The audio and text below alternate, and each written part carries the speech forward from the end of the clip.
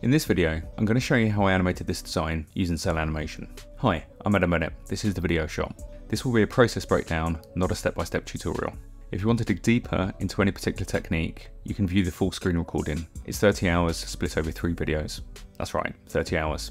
I don't do cel animation very often, and I'm incredibly slow. Someone who isn't slow is my sound designer Gordey. He stepped in at the last minute to replace someone who dropped out, and did an incredible job bringing my animation to life. You'll hear that later when we look at the animation, but in the meantime you can look him up here on LinkedIn. Full disclosure, even though I've said that this is a cel animation breakdown, and I have done this style before, this is more about me ineptly trying to find my feet. I'd honestly go elsewhere if you want professional tips. But stay tuned if you want to hear me talk about the different techniques I used to bring this design to life, and some of the things that I struggled with. Okay, let's get started. This was for a collaboration organised by Mark Lawrence. Oh, hi Mark. The theme was mid-century modern graphic design. I was assigned this design by Paul Rand for the Container Corporation of America. Mark sourced the designs from this book by Theo Inglis. We'll look at the finished animation shortly, but first, let's look at how I came up with the concept. I started off by researching Paul Rand, who I'm embarrassed to say I wasn't familiar with. And, perhaps lazily, I asked AI to interpret the design for me. Google told me the design featured a colourful bird with geometric shapes for its wings and tail. Um, are you sure? Because I'm not seeing it. Are you seeing it? Maybe your eyes are better than mine. I was convinced it was the hand from the Statue of Liberty. It's the 48 states of America, lighting the road, seems to make sense. Perhaps there's a dove in here as well? Possibly. Like I say, I'm not seeing it. But it did give me an idea. We've got the hand holding the torch, and if we start with the dove being released, we could have two transitions. The bird's wings become the flames, and one of the hands moves down to grasp the torch. I toyed with the idea of bringing a map of the United States into the mix, but I thought that might be over egging the pudding, and besides, Rand was all about simplicity. I briefly considered using 3D models for the hands, but figured it was probably easier to just film myself. So after rapidly setting up a state-of-the-art studio in my office, I was ready to go. The idea was to get a rough timing from a bird release to grabbing the torch. This could always be timing mapped in After Effects since it was going to look hand-drawn anyway.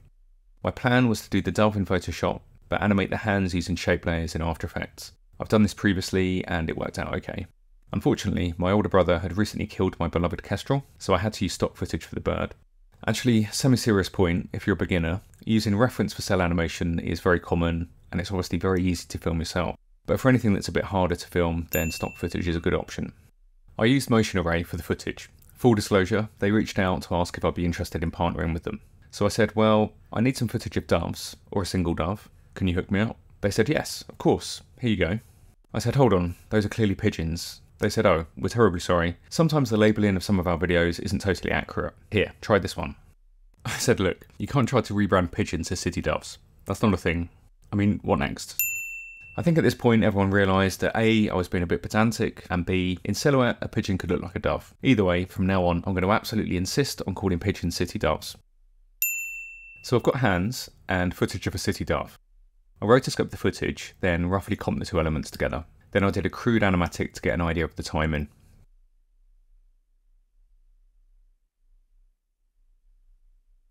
Next, I traced over the artwork with shape layers, then used my footage as reference to animate the hand grasping the torch.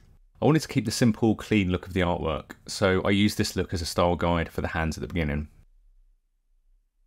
Even though the city dove was shot in slow motion, I used runway to slow it down even more.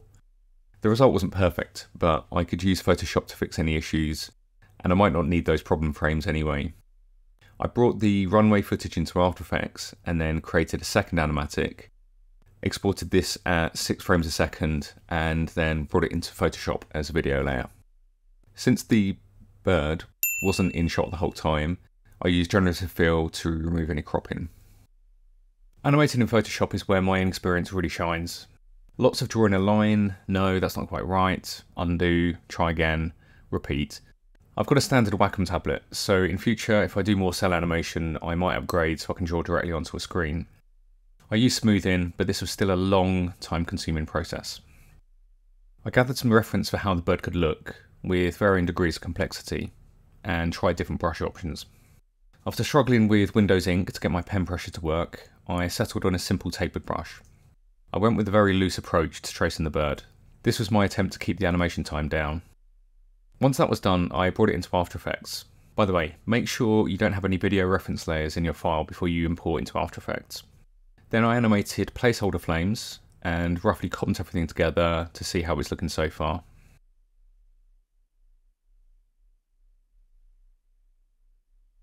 I then redid the bird with a thinner brush and more careful drawing style. I wasn't sure if I wanted the bird just outlined or filled, and did another animatic with the updated brush. But I kept coming back to the design and wanting to keep things simple, so I decided to keep the look of the bird the same as the hands, which meant drawing it again. I would have saved a lot of time settling on the look first, but I don't need to tell you that. Anyway, I ended up drawing the sodding bird three times, and ended up with this animation. To animate the flickering flames, I experimented with turbulent displace and mesh warp. My attempt wasn't great though. I ended up bringing in a clip of an actual flame and tracing over that.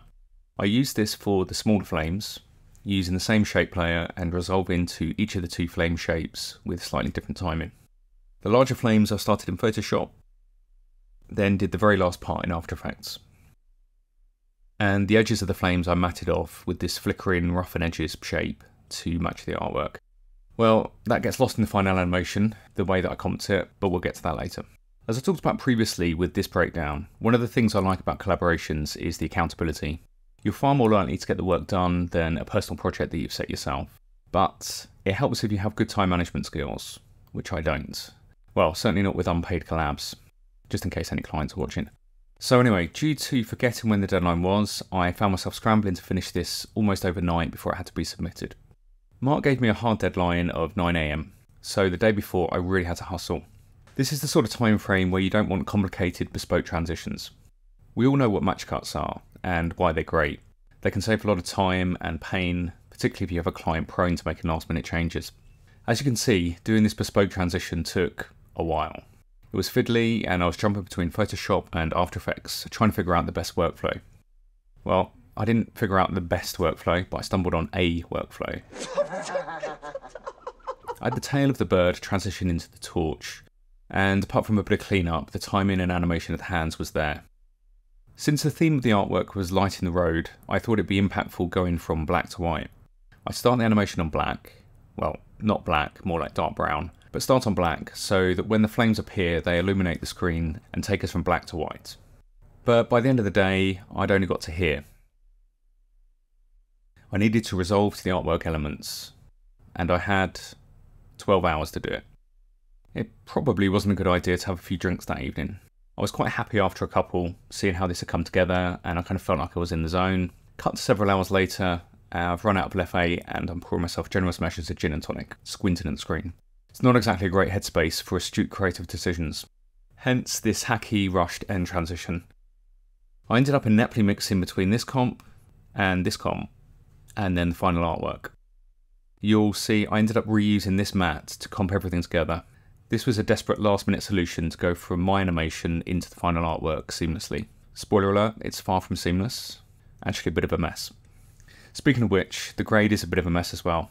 I wanted to emulate the simple hand-drawn look of the design, but I also wanted the hands to stand out, so I did a subtle glow. It looked too clean, so I blurred it. I don't even remember adding this adjustment layer. Almost too much blur here, to be honest. Then the boil is really basic. Turbulent displace on an adjustment layer. This probably gets lost with the YouTube compression, but I pre-rendered the grain as the previous were taking forever, and it was like 3, 4am at this point. So that's essentially it. This is the final animation.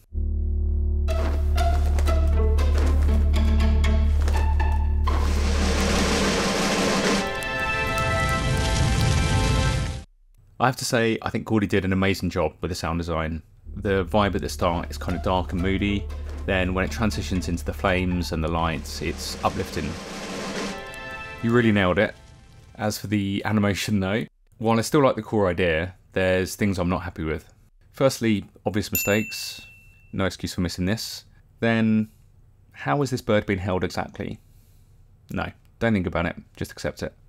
Some of the drawn frames aren't great, and rewatching it, it's actually quite slow. I think speeding it up just a little bit, it maybe works better. So the torch and the flames actually look quite pretty with the hacky glow, but you lose that with this basic transition, so that's a bit of a shame. Instead, there's this ugly grey and then there's ghosting where it mixes between the different comps. And this, not great. I'd like to have animated the text and other elements somehow, even something basic. I think I could have done something with this. I guess it alludes to a star of the Stars and Stripes, maybe. And then lastly, after all that bloody work, it just ends up looking like someone lighting their own fire. So, hot tip for everyone if you're going to spend 30 hours animating something, maybe do a quick check and make sure there isn't, say, an accidental swap sticker or something. Anyway, hope this was useful. If you'd like the free project file, there's a link in the description below. Thanks again to Mark for organising the collab. Thanks for watching, see you again soon.